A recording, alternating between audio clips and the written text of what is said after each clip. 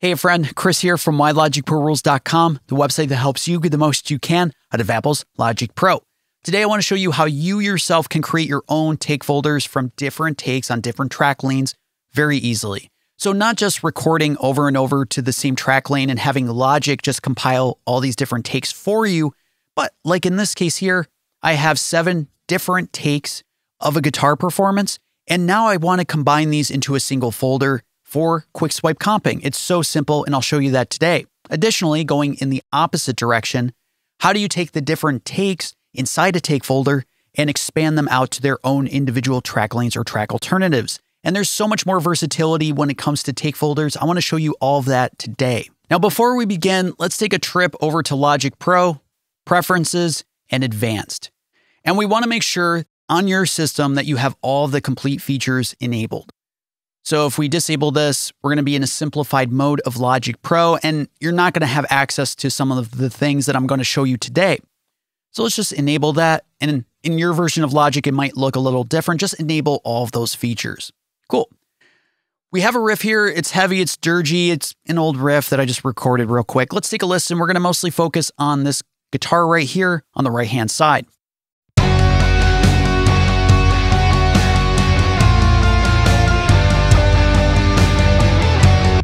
Cool. And again, it's this guitar right here.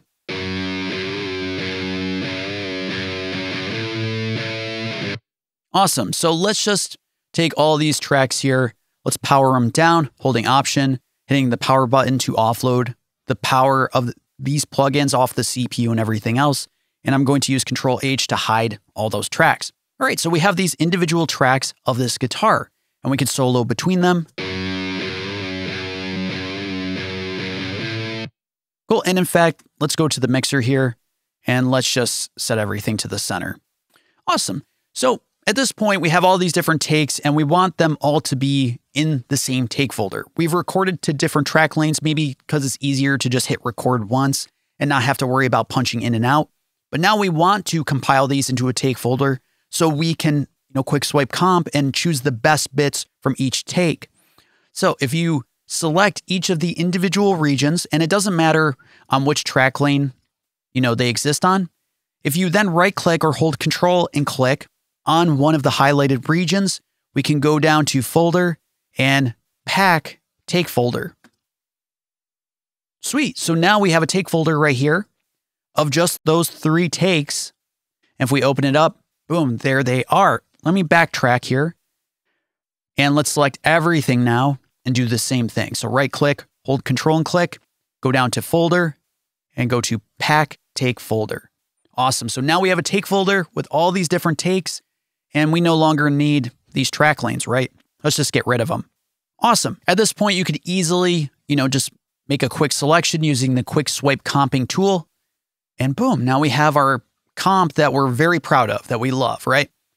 At this point, how do you now go in the opposite direction? And that's why I wanted to make sure you had the complete features enabled because right here, there's a menu.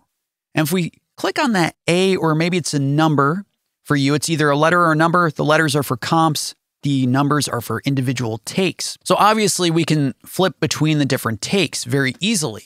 You know, so take seven, take six, or we can make a comp selection and then go right in here and we can duplicate the comp, right? So now we can flip between different comps and we can you know make adjustments to each individual comp. That is something i overlooked for so long. That's so awesome. But at this point maybe you're very happy with your comp or your take and you want to you know export it to its own dedicated track lane. You can do that.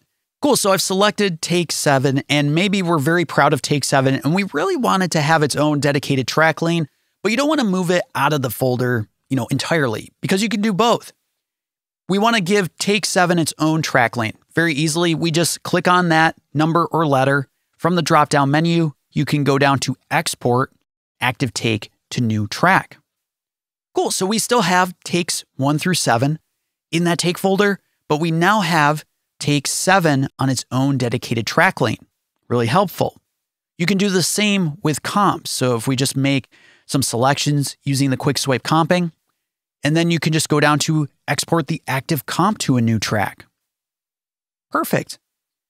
Beyond that, maybe you want to, you know, explode all the takes into their own individual track lanes, not just that one take or that one, you know, comp, but everything.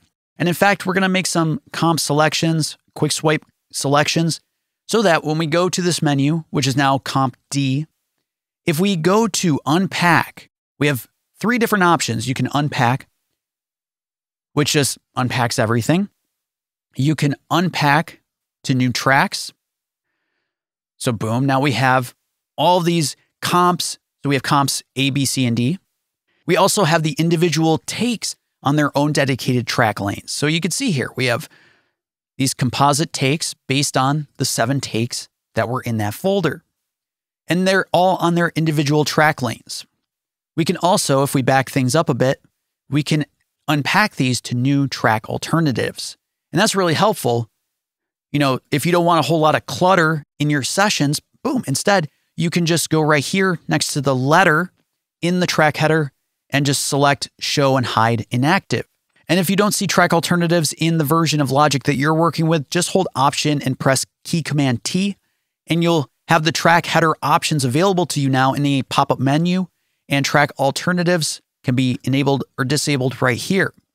Awesome. So now you can pick and choose between your track alternatives and then just hide the inactive alternatives. Boom. So now there's no clutter in your session. You can easily, you know, swap between them just a different style of comping and playing with takes in Logic Pro. Again, if we back things up just using Command Z to undo, the other option you have available to you is to move a take or a comp completely outside of the take folder. And you can just go right down here to move active comp. So in this case, we've made some selections using the quick swipe comping tool.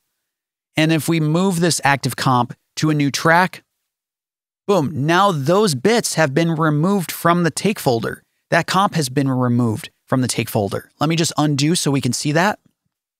Cool.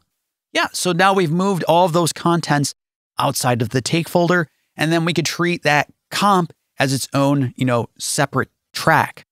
Or you can do the same for takes. So if we make a take selection like that, we can do the same thing, go to move active comp, Still says comp, so let me just select a take. Make sure we're working with what I think we're working with. We can move the active take to a new track. So boom, now take seven is outside of the take folder again. And the last thing I want to show you is how you can easily kind of flatten an entire take folder. If you just are done with the take folder, you don't need it, and you feel comfortable, you're, you're feeling pretty confident that you're never going to want to refer to it again, which I don't know if I ever feel that confident. But if we go to that menu once more, you can go down to flatten the take folder. So watch this. So we have this comp that we've made from take seven, take one, back and forth. We go to flatten. Now the take folder is gone and we just have the comp. But of course, if we, you know, dragged some of these regions down and dragged the left or right edge, we still have everything that was within that take. You know, it's just hidden. And of course, you could do the same with takes. The other thing you want to take note of is flatten and merge, where logic literally bounces the take folder in place, the comp in place, and the take folder is replaced by this bounce. There it is. So there's so much versatility when it comes to take folders. You can easily, you know, compile them, expand them, and work in many different directions to track alternatives and back even. You know, as well, if we explode these out to their own track alternatives, right? And if we go to show inactive, we can just make that selection, right click, go down to folder and pack take folder.